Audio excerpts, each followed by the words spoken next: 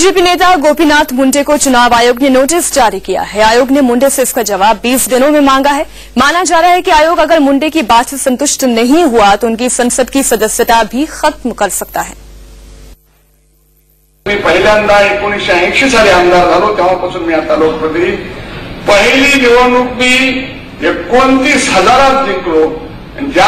बावीस हज़ार निधी मला मिळाला मला सात हज़ार रुपये खर्च करावा आणि गेल्या वर्षीची निवडणूक मी आठ कोटी रुपये खर्च करून इलेक्शनवाले नसतील तर आणि आता इलेक्शन गेट झाली तरी मी आता काय पाच सहा महिने राहिले.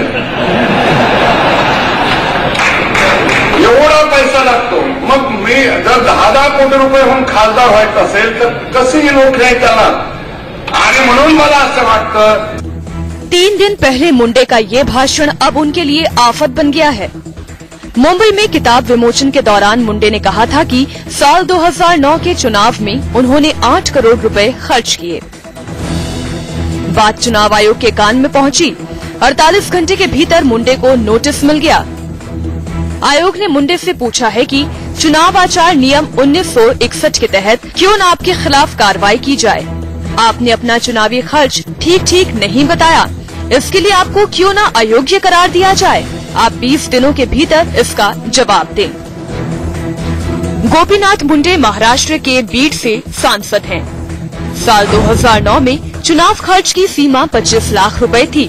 चुनाव आयोग ने अपने नोटिस में कहा कि मुंडे ने वर्ष 2009 में जो चुनावी खर्च बताया वो महज उन्नीस लाख छत्तीस हज़ार नौ सौ बाईस रूपए है। सूत्रों के मुताबिक, चुनाव आयोग ने मुंडे के भाषण की सीजी ले ली है। नोटिस तैयार करने से पहले नकल तैयार कर ली गई है। इससे पहले कांग्रेस ने सीधे सीधे मुंडे की संसद सदस्यता खत्म करने की मांग की। मुंडे जी, जो बीड़ के सांसद हैं भारतीय जनता पार्टी के, उन्होंने स्वीकार किया है कि पिछले लोकसभा चुनाव में उनका खर्च आठ करोड़ रुपए था, अर्थात पंद्रह लाख रुपए की तुलना में लगभग सात, सवा सात या पौने आठ करोड़ रुपए ज़्यादा उन्होंने खर्च किया है। तो निश्चित तौर पर डिस्क्वालिफिकेशन का केस बनता है। मैं निर्वाचन आयोग से अनुरोध करूँगा कि गोपीनाथ मुंडे को बुलाकर उनके बयान की जाँच करके वो निर्णय लें एक्शन ले और डिस्क्वालीफाई करें।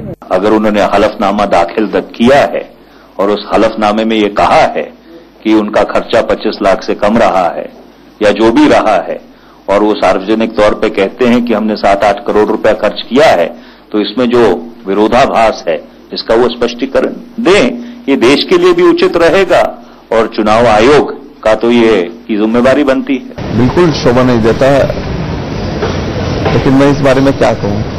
चुनाव आयोग ने उन्होंने जो कहा उसकी जाँच करनी चाहिए। पार्टी की सीनियर लीडर फंसे तो बीजेपी बचाव में कूद पड़ी। समाजवादी पार्टी ने मुंडे को 100 फ़ीसदी सच ठहरा दिया।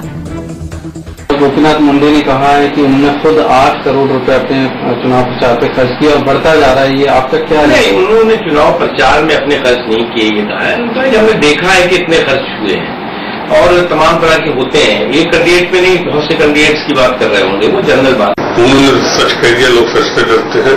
आठ तो बहुत छोटी रकम कही। दक्षिण भारत में सौ सौ करोड़ रुपए में पार्लियामेंट का चुनाव लगता है सत्यता है। चुनाव आयोग भी जानता है सब जानते हैं लेकिन सत्य कहने से कतराते हैं। मैं तो कहूँगा तो चुनाव आयोग को सुधार करना चाहिए और चुनाव का पूरा खर्चा अपने ऊपर वहन कर लेना चाहिए, जिससे प्रत्याशी को सिर्फ़ अपनी बात कहने का अधिकार रहे। कल तक मुंडे के बयान पर सियासी घमासान मचा था, लेकिन अब चुनाव आयोग ने नोटिस थमा दिया है। 20 दिन में अगर इसका सटीक जवाब नहीं दिया तो मुंडे के हाथ से एमपी की कुर्सी निकल सकती है। मुंबई से अभिषेक शर्मा की रिपोर्ट।